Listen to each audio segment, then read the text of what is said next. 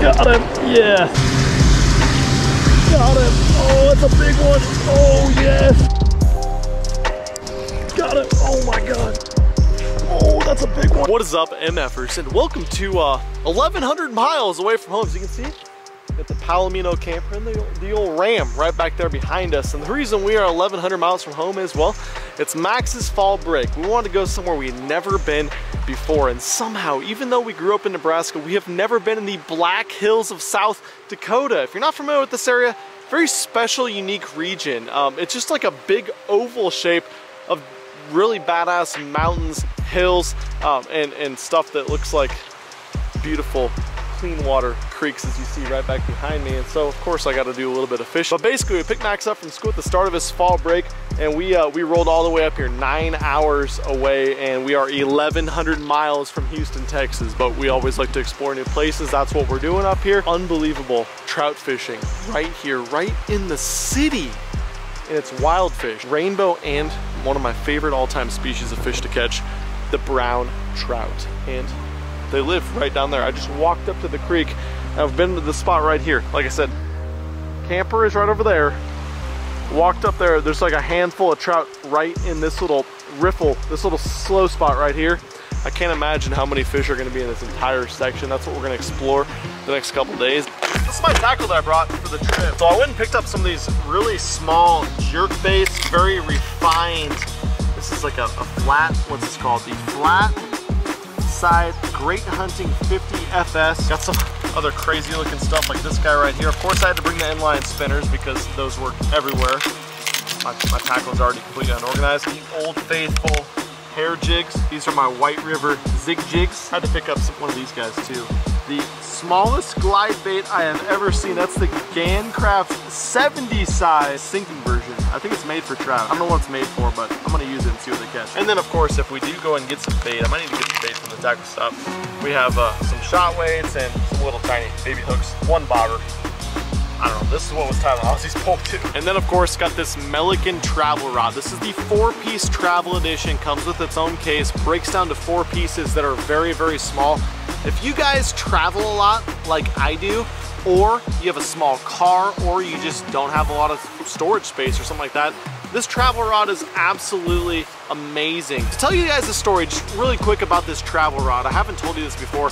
I had like a $600 four-piece travel rod. I was like, dude, I, I, gotta have this in the Milliken series. The MFER series from 6th Sense. And once I owned one and I traveled with it, I fished with it, I was like, this is so applicable to so many people around the country and the world that bank fish, that don't have a lot of storage options, or that just travel and they can't bring a full-size rod tube on their plane they need to have this four piece rod. There's a lot of two piece rods out there, of course, but this isn't gonna fit on your carry-on luggage or your checked luggage. So this four piece size that come in, comes in the badass little, little carrying sack that we got, to our surprise, we sent it to the factory and we made a couple adjustments. We came back with this right here and in my opinion, this $119 model and with the MF10 discount comes up to a little bit over $100 is absolutely perfect for any of you guys that are traveling around or you're just a bank fisherman that, that wants a smaller, more compact rod. We have it in a casting model and of course the 611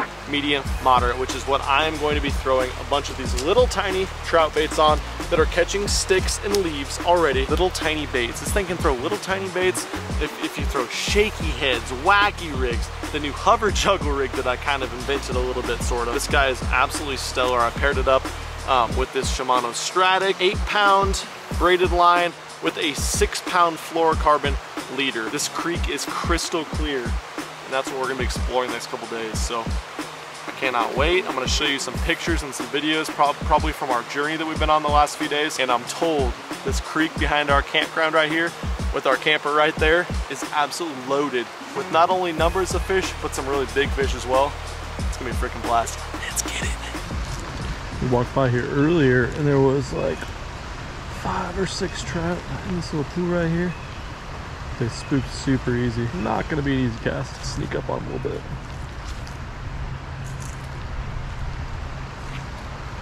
Hide behind this tree.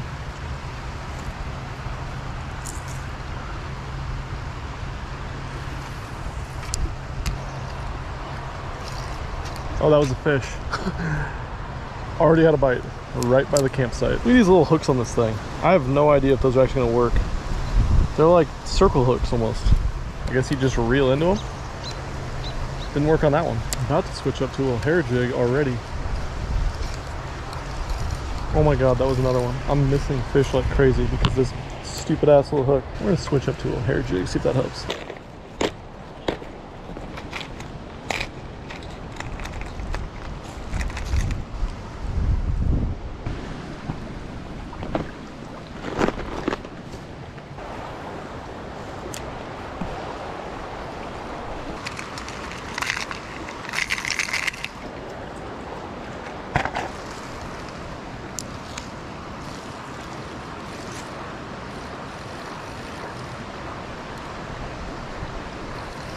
Oh, got him. Yes. Oh, no. Freaking badass little brown trout. Finally hooked to one on these tiny little hooks. He got away. That's all right though. We're getting a lot of follows. The spot looks absolutely perfect. Undercut, bank, deep. Tons of follows. Gonna stick one all the way to the bank soon. That'd be nice.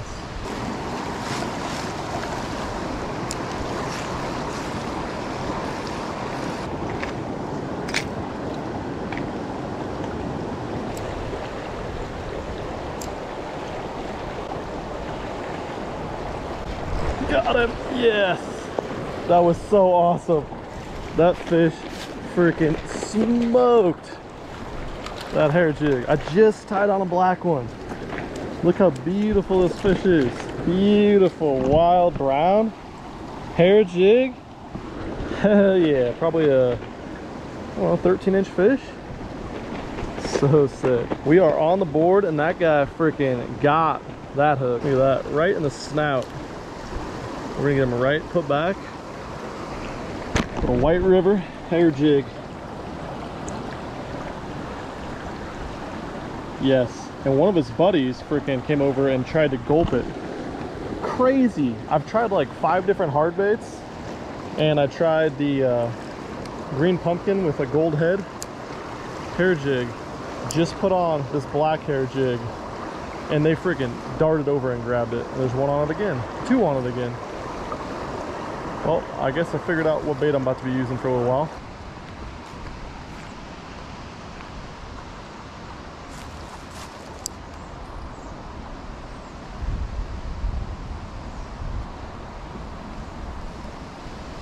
Got it! Oh my god, yes, right in front of me.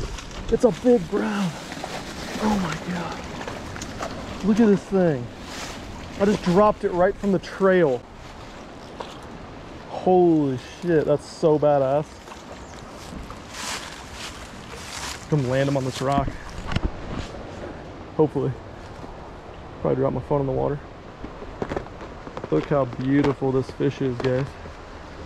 he must have been sitting right here. I dropped it from the damn trail at the campground. So we found the right spot to camp. Hell yeah. Look at that brownie. You bet. Beautiful. Once again, black hair jig. Freaking crushing it. Really nice sized fish. That's probably a 16 inch fish. Like I said, not keeping any on this little mission. But what a freaking awesome catch in front of the damn campground we're staying in. And once again, on the black hair jig. Dropping it straight down in front of me. Hell yeah. All right, get him back.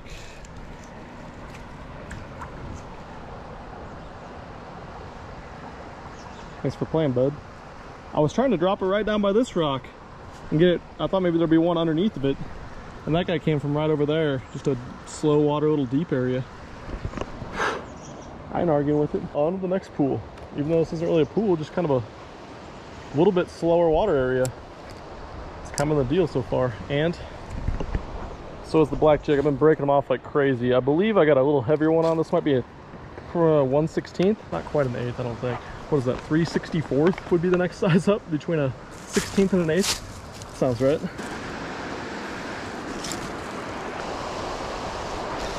Got him. Got it. I'm right by the bridge. right by the bridge. Little brown. I can't believe how many fish are right here. I can see them darting out everywhere. That's the smallest dude we've caught. Still a super cool fish though. Get him right back in. A little urban fishing right in the middle of the city. Incredible.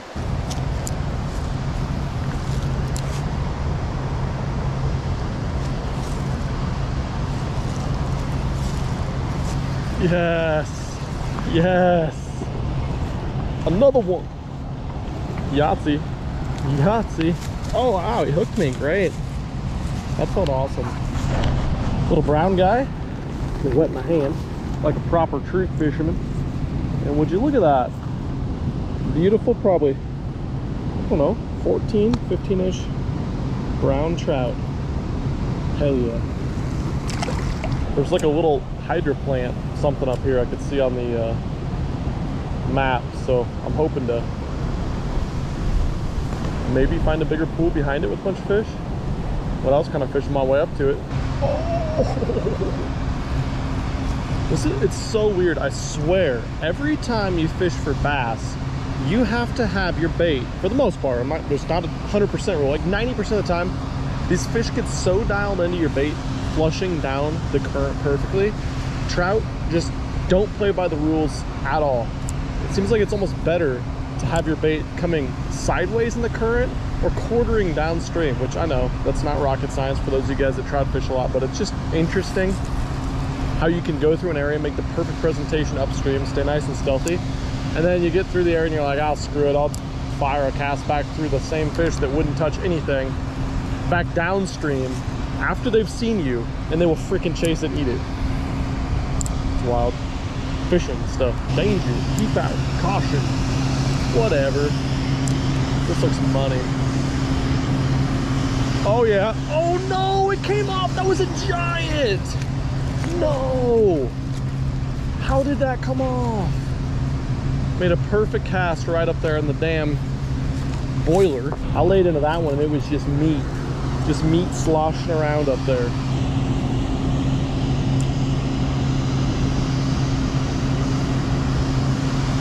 Oh my god, I just lost another one. And it was big. You gotta be kidding me. If there's any way I was gonna be able to make that cast again, bam, dropped it right in there, dropped it right in his grill, and he didn't stick.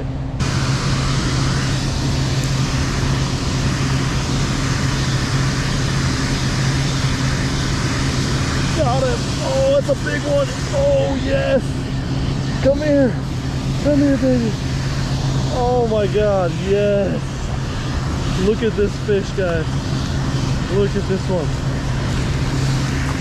Beautiful freaking brown. Oh my goodness. He just did the old barrel roll. Switched to the old nets. Look at that fish. My goodness. That's like a 22 inch brown. Wow. Freaking crushed. The little spinner too. Long and skinny for sure. But definitely a badass trout. Probably in the 21 inch range. Turn them back loose.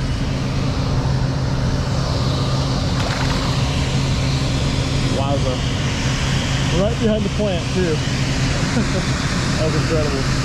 I really want to fire one over the top, but I'm not going to. I wish I had something I could skip up under there really well because I guarantee there's some freaking donkey swords up there. All the natural stuff I had to throw, they want this. The old golden black Panther Martin. Never fails.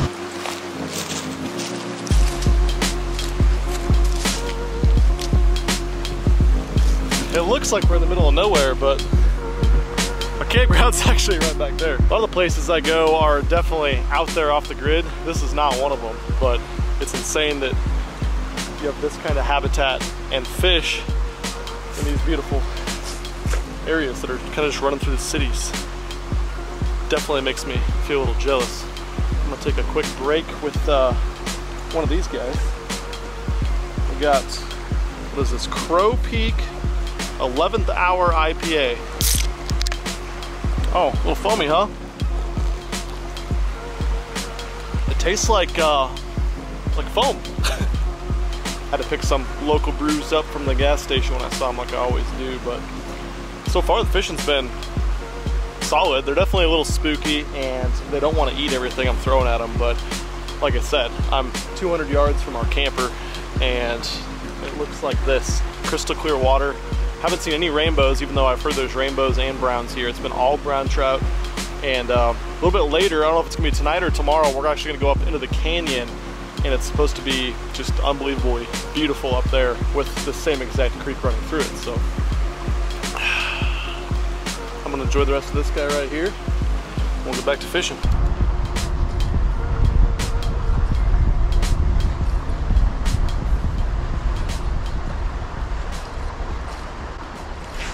That's a big one. Oh no.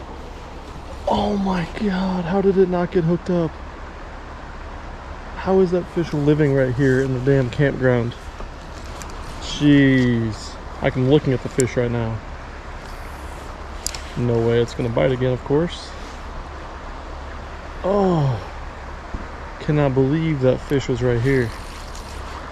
That's a giant. I mean, that's like a 22, 23 inch brown. Dang, crafty little fish. Just don't get hooked very often.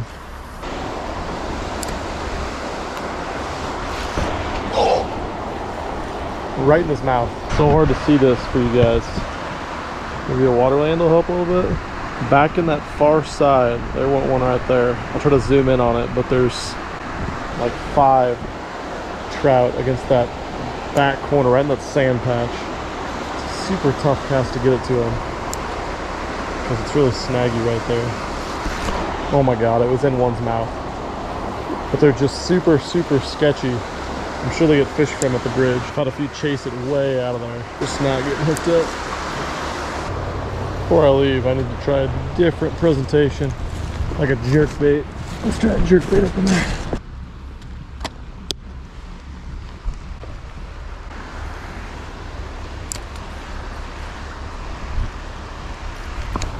Oh my God. First cast with the jointed claw. The baby claw. A freaking rainbow.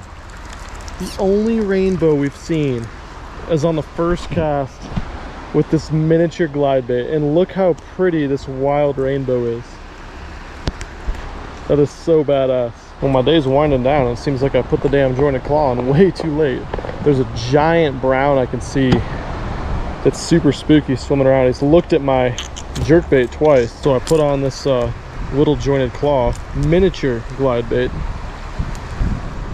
hoping that he would eat it maybe he still will Dang, that is incredible. The smallest glide bait that I've ever seen, that I know of.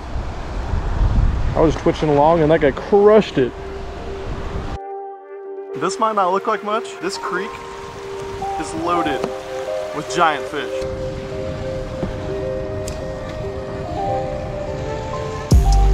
Got him. Oh, we bit it. Oh, he's on. Oh my God, it's the giant one.